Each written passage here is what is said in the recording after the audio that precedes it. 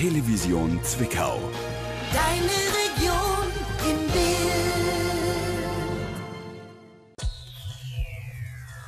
Zwickauer Energieversorgung. Die Energie der Region. Kirchberger Englischwettbewerb macht das Dutzend voll. Konservatorium eröffnet Festjahr zum 70. Und Zwickauer erinnern an die Ermordung von Karl Liebknecht und Rosa Luxemburg.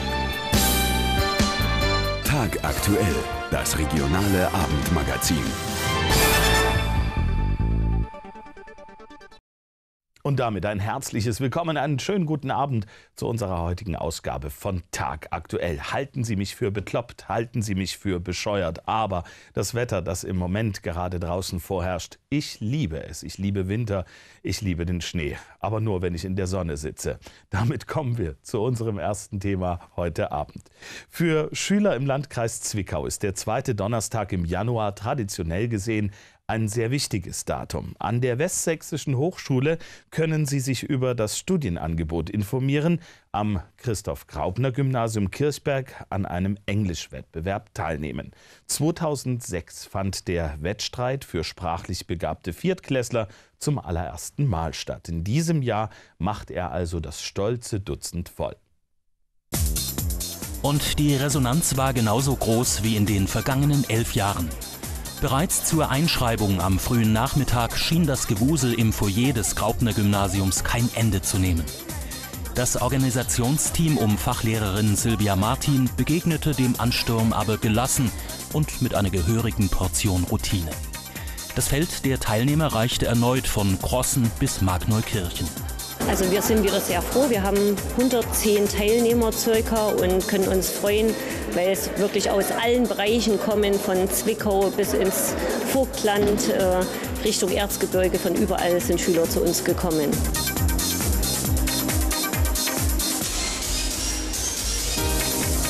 Über den Andrang freute sich auch der Schulleiter. Günter Bachmann hat den Englischwettbewerb einst gemeinsam mit der Sächsischen Bildungsagentur aus der Taufe gehoben. Nach elf Jahren ist für ihn der 2. Januar-Donnerstag noch genauso bedeutsam wie zur Premiere 2006. Weil es uns ganz wichtig ist, äh, Schüler zu finden, die Begabungen besitzen und auch äh, in ihren Stärken arbeiten möchten, die begeistert sind, in diesem Fall für die Sprachen. Das ist ganz wichtig für uns und eigentlich ein Erfolgsrezept für eine erfolgreiche Schulbildung und auch für eine hohe Qualität. Und wir haben gesagt, mit diesem Wettbewerb wollen wir eigentlich eine Brücke von der Grundschule zum Gymnasium schließen und wollen vor allen Dingen auch äh, dafür sorgen, dass sowohl die Schüler diesen Übergang miterleben können, dass sie sich testen können und im Hintergrund natürlich auch, dass die Lehrer voneinander lernen, dass also Grundschullehrer, die in Englisch unterrichten, äh, wissen, was kann man dann am Gymnasium machen und umgekehrt natürlich genauso. Das war unser Anspruch und unser Anspruch war natürlich auch als einziges Gymnasium, welches ja diese vertiefte Ausbildung im sprachlichen Bereich anbietet bei uns, eine, ein Podium zu schaffen, äh, an dem Schüler äh, auch unabhängig von ihrer Herkunftsschule die Möglichkeit haben, ihre Stärken, ihre Begabungen in der Sprache zu testen. C is for caterpillar. D is for door. Bereits beim Eröffnungsprogramm der Klasse 5b bekamen die Wettbewerbsteilnehmer und Besucher die Möglichkeit, ihre Sprachkenntnisse zu testen. Schon erstaunlich, welche unterschiedlichen Begriffe man alles mit dem englischen Alphabet assoziieren kann. H is for head. M is for monkey.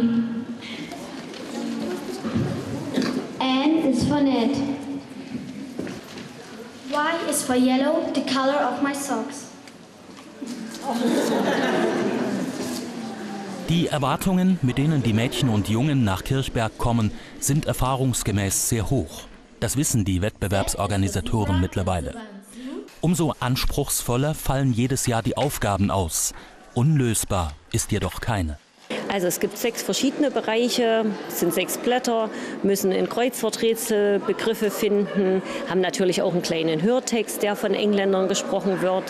Sie äh, bekommen einen Text zum Lesen, in dem sie Deutsch Fragen beantworten müssen und auch ein bisschen zu landeskundlichen Wissen, Großbritannien und vorwiegend dann noch zu den Vereinigten Staaten, wo sie so Fragen ankreuzeln müssen. Zum Beispiel ist dann, äh, womit bezahlt man in Großbritannien? Und dann sind drei Möglichkeiten gegeben und dann hofft man, dass das britische Pfund angekreuzt wird oder wofür der Big Ben steht. Aber natürlich auch im Hörtext muss mit Farben gearbeitet werden, dass der Füller eben vielleicht gelb oder grün ist und nicht blau. Solche Dinge auch. Hochkonzentriert gingen die Viertklässler dann auch ans Werk. 45 Minuten, so lang wie eine Unterrichtsstunde, hatten die Wettbewerbsteilnehmer Zeit, die richtigen Lösungen zu finden und die Maximalpunktzahl 60 zu erreichen. Also der erste Preis, äh, der Sieger, bekommt natürlich einen Pokal mit Gravur vom Graupner Gymnasium in dem Jahr. Den stiftet auch immer die Bürgermeisterin, die wird also auch noch kommen. Und ähm, die anderen, da es ein Englischwettbewerb ist, haben wir aus dem Bereich was, also Wörterbücher und auch noch Tassen von unserer Schule. Es bekommt aber auch schon jeder einen kleinen Preis, also eine Teilnahmeurkunde, das ist ja wichtig, und auch einen kleinen Rucksack. Und Elli Spirelli hat auch noch was zu essen für alle Schüler gesponsert, dass sie uns nicht verhungern am Nachmittag. Durch seine bilinguale Ausbildung bietet sich das Kirchberger Gymnasium als Gastgeber geradezu an. Wie wichtig das Beherrschen der englischen Sprache heutzutage schon im Kindesalter ist, macht Schulleiter Bachmann an zwei Aspekten fest. Das eine sind natürlich äh, deutlich größere Chancen in Ausbildung und im Beruf, dann später Studium und Beruf. Denn unsere Welt ist global, sie ist vernetzt und äh, die englische Sprache ist eigentlich eine zweite Arbeitssprache geworden. Es ist keine Fremdsprache mehr, es ist eine zweite Arbeitssprache geworden. Das ist äh, der eine Aspekt, der inhaltliche Aspekt, vielleicht auch der etwas trockenere Aspekt. Für mich mindestens genauso wichtig ist aber die äh, Möglichkeit, äh, dass junge Leute weltweit kommunizieren können. Und wenn man heute Nachrichten liest, dann weiß man ja auch, wie viele Baustellen es gibt, wie viele Krisenherde es gibt, die meistens ja darauf beruhen, dass Menschen eben nicht miteinander kommuniziert haben, beziehungsweise mit völlig falschen Vor Vorstellungen sich einander gegenübergetreten sind. Und äh, das ist für mich äh, äußerst wichtig, auch zukunftsträchtig, dass junge Leute, äh, die hier bei uns die Schule verlassen, auch gerade in Sachsen die Schule verlassen, äh, wenn man so will, Global Player sind, äh, dass sie also in der ganzen Welt äh, sich zurechtfinden können. Zunächst galt es aber, sich mit den diesjährigen Wettbewerbsaufgaben zurechtzufinden. Die Teilnehmer waren ebenso gefordert wie die Jury. Ähm, ganz viele Schüler müssen immer gefunden werden und da können wir also sehr dankbar sein. Die helfen uns auch mit und natürlich auch Lehrer. Und dann werden wir in einem Zimmer immer aufgabenweise das alles durchkorrigieren und hoffen, dass wir das auch in einer reichlichen Stunde fertiggestellt haben.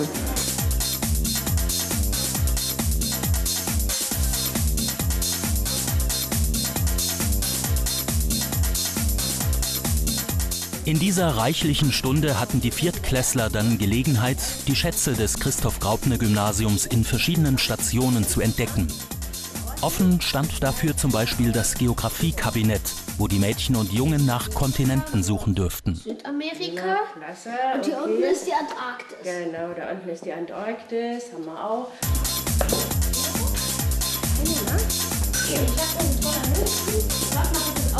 Im Biologiezimmer zeigte Herr Gebauer, dass man ein Skelett auch aus Papier bauen kann. Eine Schere und ein paar Metallösen reichen völlig aus.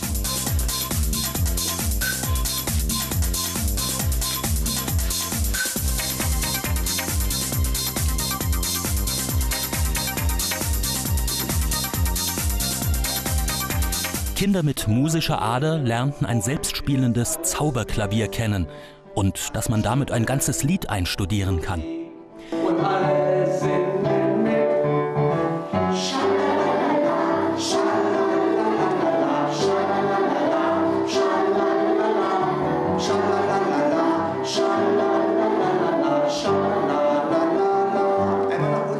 Wer neben seiner sprachlichen noch eine artistische Ader im Blut hat, dürfte sich im Jonglieren ausprobieren.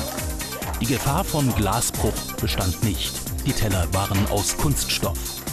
Fasst man zusammen, wie viel am vergangenen Donnerstag im Graupner Gymnasium los war, ahnt man ungefähr, welcher Aufwand jedes Jahr hinter dem Englischwettbewerb steckt. Also das ist schon enorm, auch wenn wir schon routiniert sind äh, in den Schritten. Es geht ja erst mal los die, mit der Ausschreibung, dann kommen halt die ganzen Anmeldungen rein. Na, dann muss man sie alle erst mal sortieren und machen und in Excel-Tabellen erstellen und logischerweise die Zimmer einräumen und die Urkunden drucken und uns natürlich auch Aufgaben überlegen, weil wir die auch immer variieren. Nach einiger Zeit des Wartens, die angesichts der vielen Angebote jedoch im Fluge verging, stand am späten Nachmittag endlich fest, wer die fünf Hauptpreise mit nach Hause nehmen durfte.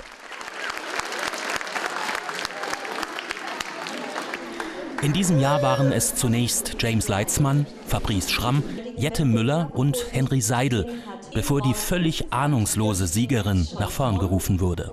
56,5 Punkte wurden erreicht von 60 möglichen. Das ist also eine Spitzenleistung von Freya Schiller.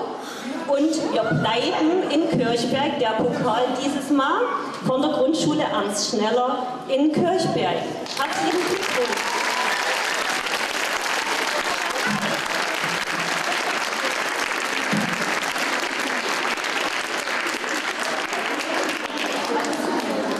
Neunjährige aus der 4a konnte ihr Glück kaum fassen, als sie von der Bürgermeisterin den Pokal bekam, mit Freudentränen in den Augen zahlreiche Hände schütteln musste und den ihr geltenden Applaus genoss. Noch Minuten nach der Siegerehrung rang sie nach Worten.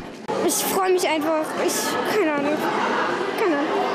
Hast du irgendwie damit gerechnet? Äh, nein. Wie schwer war der Wettbewerb? Mm, es ging. Also, ungefähr so schwer wie eine Klassenarbeit. Was waren für Fragen dabei, die du beantworten musstest? Äh, also man musste was hören und noch sowas zum Ankreuzen und ein Kreuzworträtsel.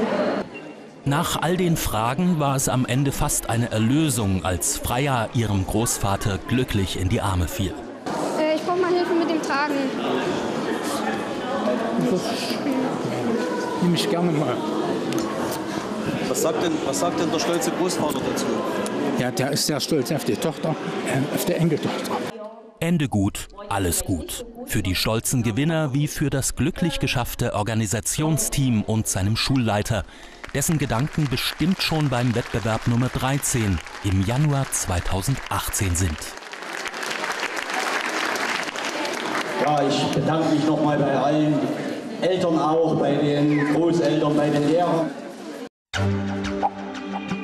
Werbung In der Mittagspause mit Kollegen oder Geschäftspartnern essen gehen? Das Restaurant Alte Münze wird Sie begeistern. Gehoben, aber nicht abgehoben. Historisch und modern zugleich. Lassen Sie sich von dem besonderen Ambiente verzaubern. Im ältesten und zugleich neuesten Haus am Zwickauer Hauptmarkt. Genießen Sie die abwechslungsreiche, saisonale und junge Küche mit ihrem mediterranen Einschlag.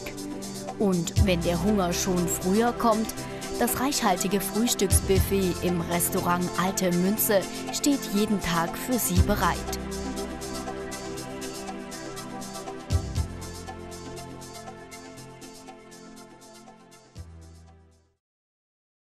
Leben, lieben, heiraten. Das Porter Möbelhaus sucht heiratswillige Paare, die in einem Wettbewerb anlässlich der Hochzeitsmesse am 4. Februar 2017 gegeneinander antreten. Mit dem Stargast des Tages, Ella Endlich. Küss mich, halt mich, lieb mich, für immer küss mich, halt mich, lieb mich. Wer traut sich? Für die ersten drei Gewinner gibt es Gutscheine im Wert von 100, 200 und 300 Euro. Bewerben Sie sich jetzt bei Porter per Mail an l.kraus.porter.de oder unter 0375 27 38 575 und beweisen Sie Ihre Ehefähigkeit zur fünften Hochzeitsmesse im Porter Möbelhaus am 4. Februar 2017. Uta Röder-Moden. Seit 1991 das Bekleidungsfachgeschäft im gehobenen Genre für Damen und Herren. Die erste Adresse in Sachen anspruchsvoller Modemarken. Hier finden Sie hohe Fachkompetenz bei Beratung und Verkauf stilvoller Bekleidung. Schauen Sie vorbei und überzeugen Sie sich selbst. Uta Röder Moden. Wir freuen uns auf Ihren Besuch. Mehr fürs Geld. Ihr Plus im Fachhandel. Polster-Aktionswochen vom 14. Januar bis 4. Februar. Jetzt bei Reco Möbel in Stolberg, Zwönitzer Straße 10a. 25 Jahre Reco Möbel. Wir lieben Möbel.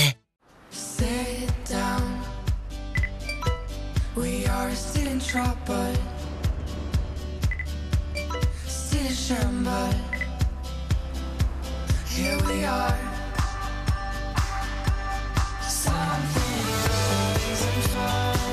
Der neue Citroën C3. So einmalig wie du. Citroën. Jetzt in Ihrem Autohaus BHS am Kreuzberg in Zwickau-Oberplanitz. Premiere des neuen Citroën C3 am 21. Januar von 9 bis 14 Uhr im Autohaus BHS. Wenn wir Ihnen eine Wohnung vermieten, dann wissen wir, Sie vertrauen uns den für Sie wichtigsten Platz der Welt an. Mehr als 65.000 Kindern bieten wir ein gutes, sicheres Zuhause und Wohnumfeld. Wer gibt Städten Gesicht und Seele? Wir sind das. Hierher komme ich natürlich erstens mal, weil es sehr, sehr schön ist. Und damit man fit bleibt, mit in unserem Alter, da kann es schnell mal passieren, dass man nicht mehr so kann. Aber hier, das hält ihn wirklich richtig fit und schön stabil. Und dann ist es natürlich auch das ganze Fluidum wunderbar. Schöner kann es ja gar nicht sein. Man kennt sich ja und da gibt es anschließend mal immer mal ein schönes Wort und eine, eine Rederei, einen Meinungsaustausch. Also besser kann man sich gar nicht vorstellen. Professionelles Training in Ihrem Sportpark Zwickau, Merane und Glauchau. Martin und Schwedler, Ihr Partner für moderne Heimelektronik. Fachhändler für Löwe, Panasonic, Mobilcom Debitel und Sky. Unser Service umfasst den Verkauf und Reparaturservice für TV-Geräte, Computer- und Telefonanlagen, Wartung von PC-Netzwerken, Sat- und Kabelanlagen und natürlich einen kostenlosen Lieferservice bei Neukauf. Bei TV-Reparaturen holen wir das defekte Gerät beim Kunden ab und stellen für die Zeit der Reparatur ein Leihgerät zur Verfügung. Martin und Schwedler, Hauptstraße 98 in Steinkleis. fernen Zukunft glückliche Menschen in gemütlichen, hellen Räumen. Diese Wohnungen sprechen zu ihren Bewohnern. Zukunft! Bei der Vevobau in Zwickau ist das doch schon längst Realität. Dank intelligenten Wohnungen mit Smart Home Technologie können Sie schon heute wohnen wie andere erst morgen. Entdecken Sie unsere Angebote und die Vorteile des Wohnens in einer starken Gemeinschaft. Vevobau. Bei uns wohnt die Zukunft.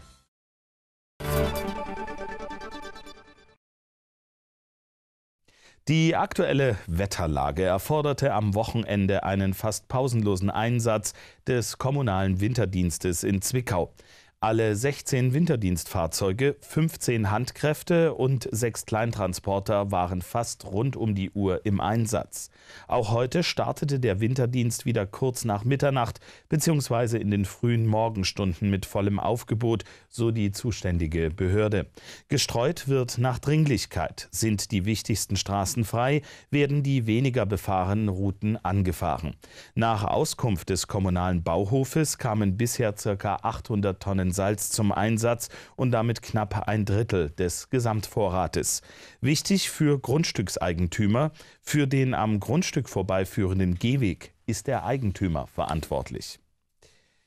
Rund 20 Zwickauer fanden sich am Sonntag auf dem Platz der Deutschen Einheit zusammen, um der Ermordung von Karl Liebknecht und Rosa Luxemburg vor 98 Jahren zu gedenken.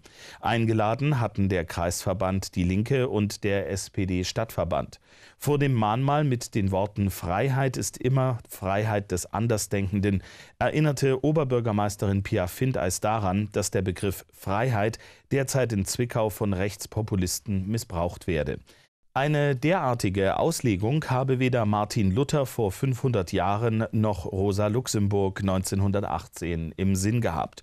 Bundestagsabgeordnete Sabine Zimmermann erklärte ihr entschiedenes Nein zu Militäreinsätzen.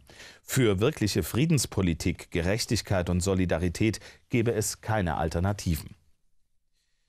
Seit letzter Woche ist die neue öffentliche Toilette auf dem Neumarkt nutzbar. Nachdem Ende Dezember der Bau abgeschlossen wurde, konnte die Anlage nun an die Comedia Konzept GmbH als Betreiber übergeben werden. Die neue Toilettenanlage hat eine Kombination aus Damen- und Behinderten-WC, ein WC für Herren sowie einen separaten Technikbereich. Die Öffnungszeiten orientieren sich an den Marktzeiten, Montag bis Freitag von 8 bis 17 Uhr und samstags von 8 bis 14 Uhr. Pro Besuch wird ein Entgelt von 50 Cent erhoben. Eingehalten wurde indes der Kostenrahmen, der für Planung und Bau mit 180.000 Euro veranschlagt war. Zwickau verfügt damit aktuell über insgesamt sechs öffentliche Toiletten. Regionaler Finanzdienstleister und Förderer der Kultur. Die Sparkasse Zwickau präsentiert die Empfehlung für Ihre Freizeit.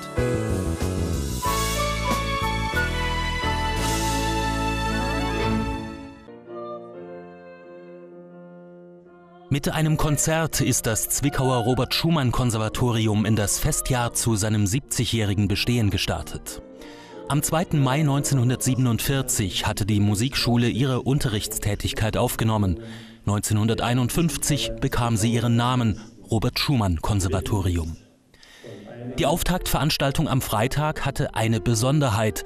Auf dem Programm standen ausschließlich Kompositionen Zwickauer Komponisten. Und davon gibt es so einige. Robert Schumann, klar, auch dessen Frau Clara. Doch die hiesige Musiklandschaft hat noch viel mehr zu bieten. Einer der Höhepunkte war die Uraufführung eines Werkes für Zupforchester von Annette Schneider. Sie ist Lehrerin am Konn. Der Schwanenschloss Kinderchor hat Lieder von Jürgen Golle gesungen. Der gebürtige Zwickauer war als Kind im Thomanerchor und wirkte bis zu seinem Ruhestand als Hochschullehrer.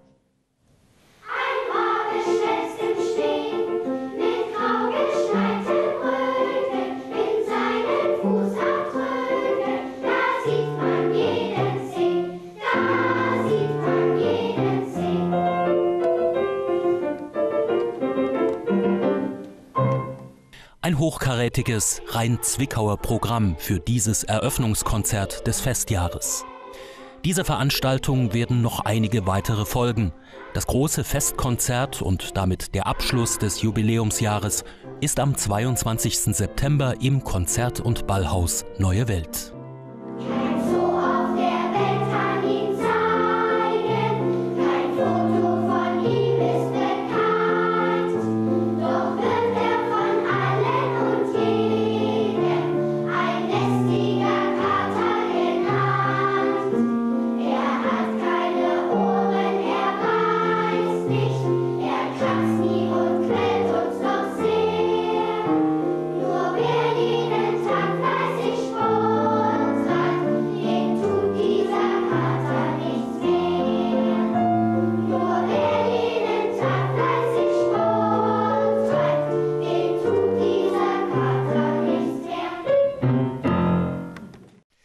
Morgen wird im Zwickauer Puppentheater wieder gespielt. Die Theaterleitung verspricht Angebote für fast jeden Geschmack und für fast jedes Alter. Der Januar startet mit dem Stück Schneewittchen sowie den bereits sehr beliebten theaterpädagogischen Angeboten, Puppenspielkurs und der Erzieherfortbildung. Der Februar hält witzige und spielerisch interessant gestaltete neue Stücke für die Besucher bereit. Die Neuinszenierung Eine Woche voller Samstage oder ein Stück für die Allerkleinsten mit dem Titel Erst blau, dann gelb, dann grün stehen unter anderem auf dem Spielplan im Februar. Das komplette Programm gibt es im Internet unter puppentheater-zwickau.de.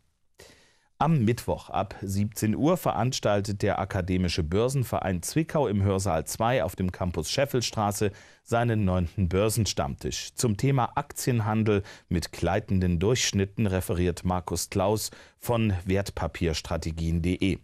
Der Aktienhandel mit Hilfe gleitender Durchschnitte wird in Foren und in der Literatur immer wieder diskutiert. Was letztlich von einer solchen Strategie zu erwarten ist, bleibt dabei meist im Dunkeln.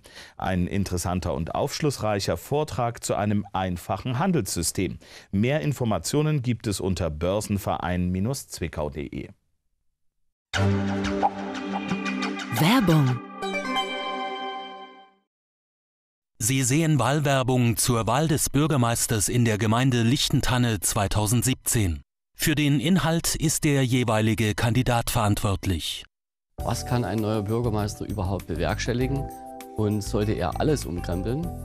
In einer Zeit, da die Gesellschaft nach Orientierung sucht und mehr Fragen als Antworten bereithält, können wir in unseren Dörfern nur den Zusammenhalt stärken, indem wir einander zuhören, vor allem den kritischen Stimmen, die Engagierten unterstützen und das gesellschaftliche Zusammenleben mit den Einwohnern aller Ortsteile fördern. Ein reichhaltiges Vereinsleben macht unser Lichtentanne besonders für junge Leute lebenswert und ich glaube, deren Ansprüche zu kennen und freue mich auf die Zusammenarbeit mit jenen Gemeinderäten, die aktiv die Kompetenz der Verwaltung stärken wollen.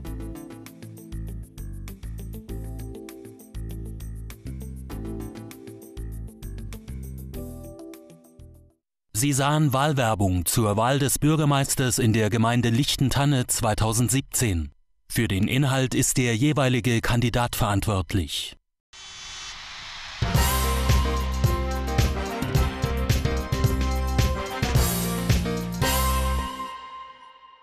Der FSV hat am Samstag auch das zweite Testspiel der Vorbereitung auf die Rückrunde verloren.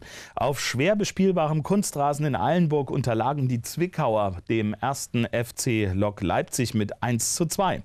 Der Regionalligist kam mit den Bedingungen zunächst besser zurecht als der Drittligist und führte nach zehn Minuten bereits mit 2 zu 0.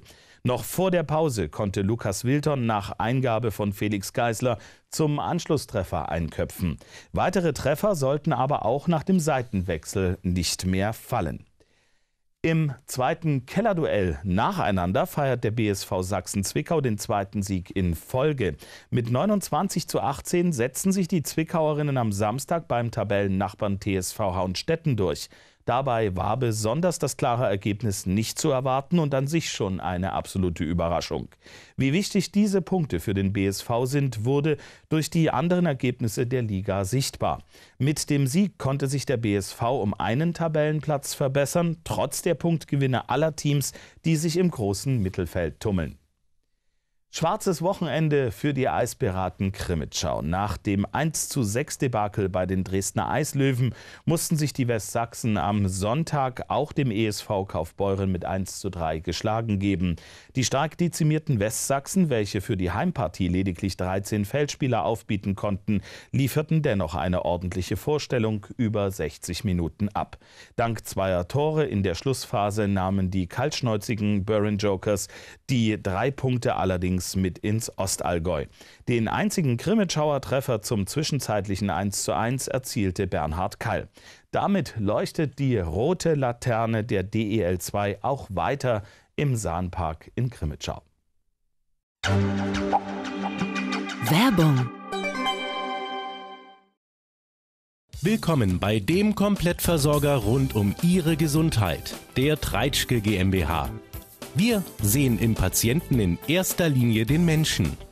Deshalb verstehen wir es als unsere Aufgabe, nicht nur die Mittel zur Linderung von Symptomen zu liefern, sondern vor allem mit Menschlichkeit und persönlichem Engagement das Leben ein Stück lebenswerter zu gestalten. Wir fangen den Menschen auf, hören ihm zu und nehmen ihm zahlreiche Herausforderungen ab. Einfach gesagt, wir kümmern uns das ist unsere Unternehmensphilosophie seit nunmehr fast 25 Jahren. Unser Team besteht aus hervorragend geschulten Mitarbeitern im Innen- und Außendienst.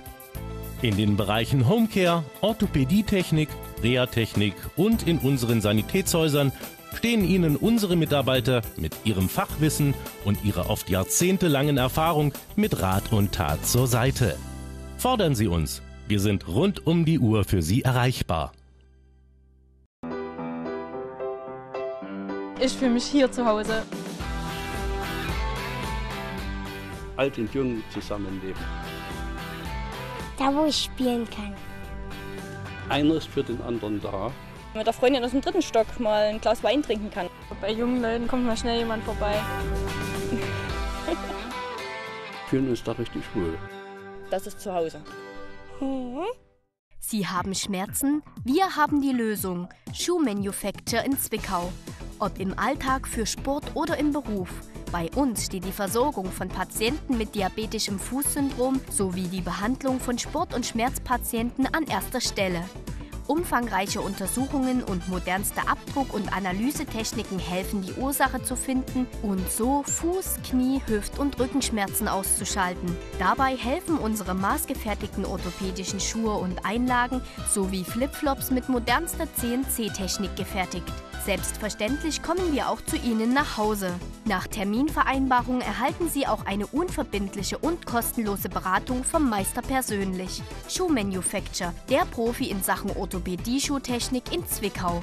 Grimmitschauer Straße 30, direkt gegenüber dem Hauptfriedhof.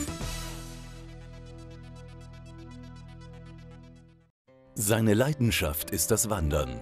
Doch das wurde für Josef Bader immer beschwerlicher. Vor zehn Jahren wurde bei ihm Arthrose im Knie festgestellt. Vor zwei Jahren konnte er kaum noch gehen. Die Schmerzen im Knie, die waren so stark, dass ich weder radeln konnte, ich konnte nicht Treppen steigen. Josef Bader hat es geschafft. Sein Knie kann er wieder schmerzfrei bewegen. Geholfen hat ihm letztendlich Rosaxan. Rosaxan zur diätetischen Behandlung von Schmerzen und Gelenksteifigkeit bei Gonarthrose. Hotelpension Flexig, Hartmannsdorf bei Kirchberg. Täglich ab 11 Uhr Essen vom Feinsten. Telefon 037602 6342.